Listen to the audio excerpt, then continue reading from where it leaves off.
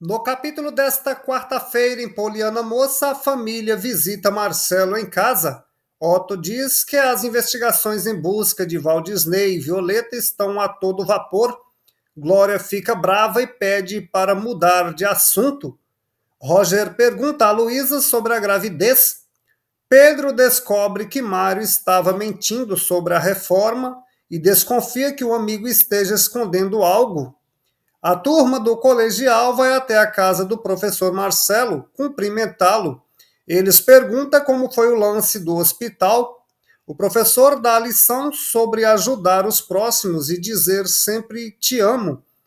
Luigi se declara a Song Park e diz que a ama. O Will Peclo invade a casa de Mário. Celeste chega atrasada no serviço.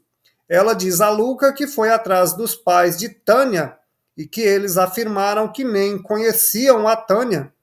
O Will Peclo encontra Pinot. Mário fica desesperado e envergonhado.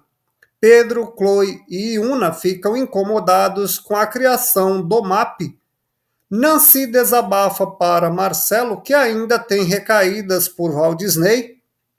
O Will diz ao boneco que se comprometeu em falar o paradeiro dele para Otto e que estão todos o procurando, inclusive a polícia.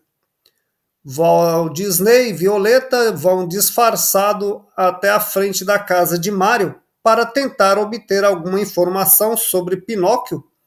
Pinot foge da casa de Mário ao saber que os amigos querem delatá-lo onde ele se esconde.